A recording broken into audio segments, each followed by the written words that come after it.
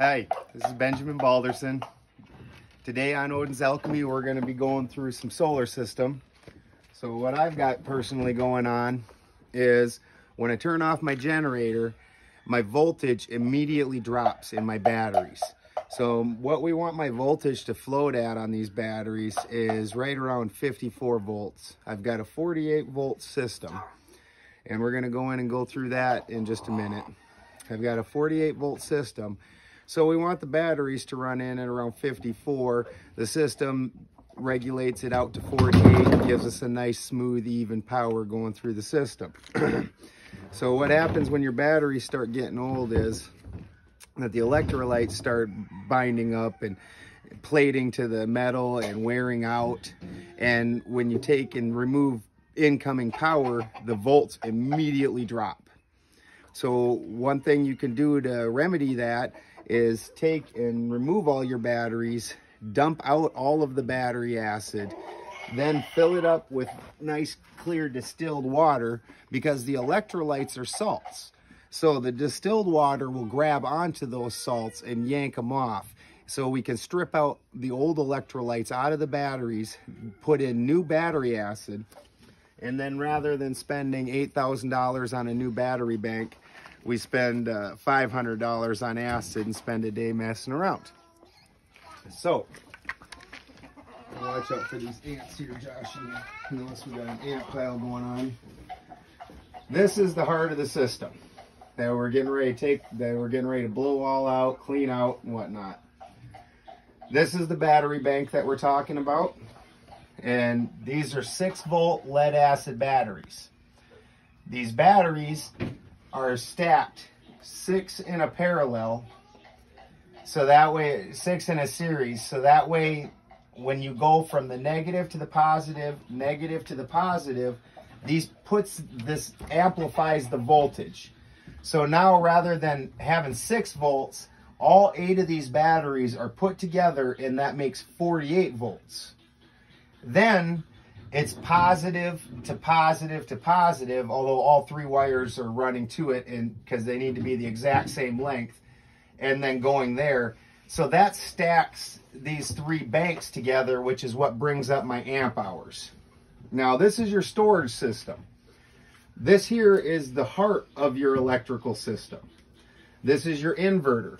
So this is what's taking and turning your 48 volt direct DC power and turning it in my instance is I, I have a 240 uh, volt inverter. A lot of people only have 120, 120. So this is taking and turning 48 volts into 240 volts. then this is, so this is where your battery's stored. So a lot of times when people are thinking about uh, solar power, they immediately just think of the panels and think the panel goes right to the system. But really, if you're going to go live off grid, the first thing that you want is a generator, and we're going to go see that in just a second. The generator you can run off of no matter what. You just need fuel. Then the second component is this battery bank and the inverter because then you can use the generator, fill up the battery bank, and then live off of this battery bank trying to minimize your power usage. And then you also need the inverter because the inverter is what transfers that 48 volts into a usable 240 volts and over at your panel. And then that's where it gets distributed at your house. So really when you're doing solar, the solar panels in and of themselves are pretty much about the last component that you put in because you need everything else in front of that in order to make it work. so, and on the other side of the wall here, you can see the wires going through there is a solar controller. And we'll show you that in just a second also. Over here, we have the solar panels. And we'll go like this since the GoPro's being obstinate.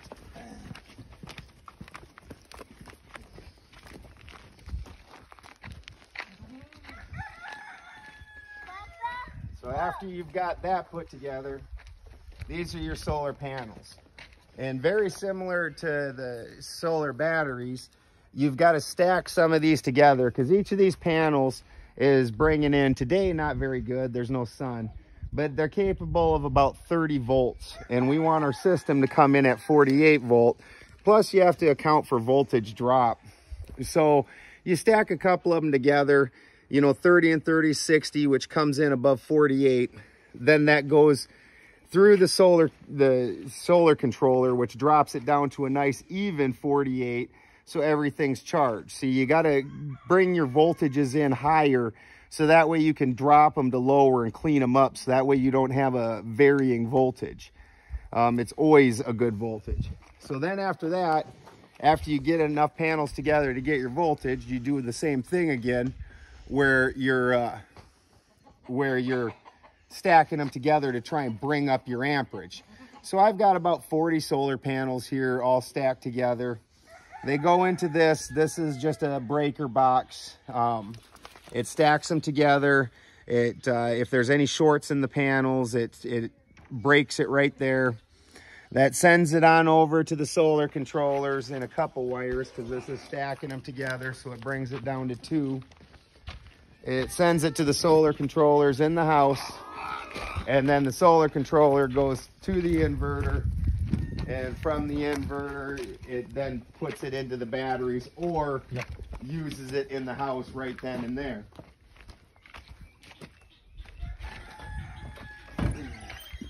So we got grandsons and we're trying to get everything swapped over and moved. So the house is a horrible sty right now, but